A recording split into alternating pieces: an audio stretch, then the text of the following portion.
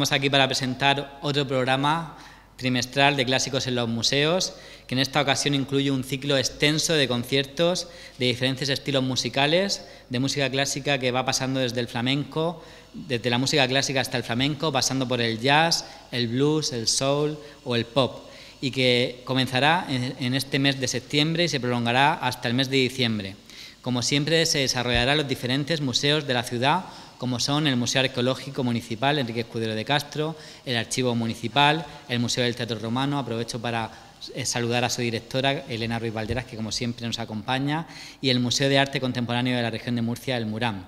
Para estos conciertos se va a contar con artistas tanto de nivel nacional como internacional, entre los que destacan, por ejemplo, a nivel nacional, Claudia Arimani, la joven Orquesta Sinfónica de Cartagena, que en esta ocasión va a actuar con un grupo de vientos, o el quinteto Aventis, entre otros. En cuanto a los artistas internacionales, podemos destacar que estará con nosotros el trío Lansing, Augustin Wiedemann, Luca Torrigiani o Luigi Santo, entre muchos otros. Para empezar a hablar un poco de los diferentes días que se van a, realizar para desarrollar esta programación, voy a comenzar por el mes de septiembre y en el mes de septiembre, aunque están todas las fechas detalladas en el programa, decir que tendremos tres eh, conciertos en los que estarán el trío Lanzini en el Archivo Municipal, el grupo de vientos de la HOSC en el Archivo Municipal también y Claudia Arimani Dúo también en el Archivo Municipal. Todo el mes de septiembre lo desarrollaremos en el Archivo Municipal y ahora desarrollaré un poco más a, estos artistas que nos visitarán en este eh, primer mes. En el mes de octubre tendremos en el Museo Arqueológico Municipal al trío Wiedemann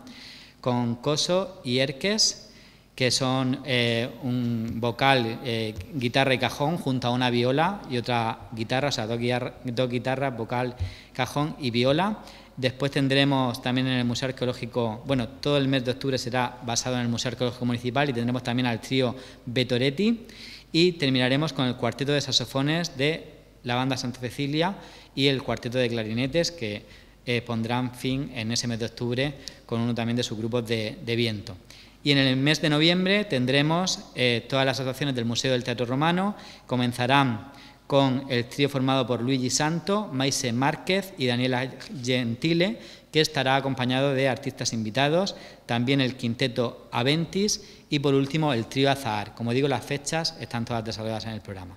Y terminaremos en el mes de diciembre con una cartagenera, guitarrista, una de las mejores que tenemos en la ciudad, que ya hemos escuchado en otras ocasiones y que en esta ocasión estará acompañada por Víctor Bravo. Será en el Murán, en el mes de diciembre todas las actuaciones serán en el Museo Regional de Arte Moderno. Le seguirá Luca Torrigiani y terminará con Sabrina Gasparini.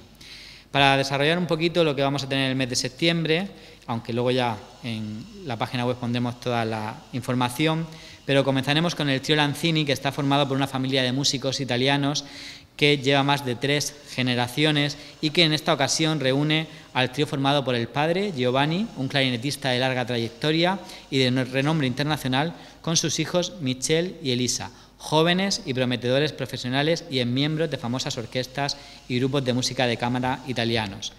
El grupo de vientos de la JOS, que yo creo que casi todos lo, conocemos, que surgió en el año 2017, con, con el fin de dar respuesta a la exigencia de los músicos, que tenemos además muchos músicos de viento, gracias a las cuatro bandas del, mm, musicales del, municipio, hay un gran eh, eh, grandes músicos de viento en, Cartagena y además un amplio, público que demanda este tipo de, música y este tipo de repertorio. Y además también nacieron porque por su reducido tamaño podían tocar en rincones muy elegantes de la ciudad como los salones de los palacios modernistas o las pequeñas salas de conferencia como por ejemplo la Sala Isasperal. En esta ocasión tocará en el archivo y además hoy tenemos la suerte de que nos acompañe uno de los músicos de la JOS, Pablo Alcántara. Y por último, este mes de septiembre tendremos a Claudia Arimani Dúo, por un lado Claudia Arimani, que también es flautista, eh, catalana, es considerado, perdón, he dicho...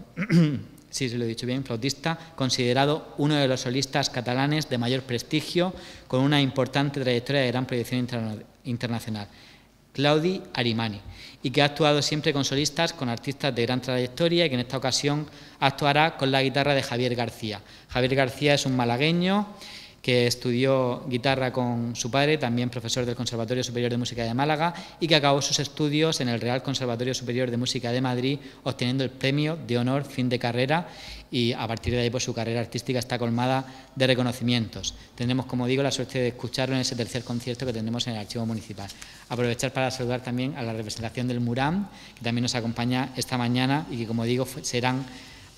los últimos del trimestre, en diciembre, cuando disfrutaremos de esos conciertos ahí en el Museo Regional de Arte Moderno de, de la región de Murcia, que está, como sabéis, aquí en Cartagena.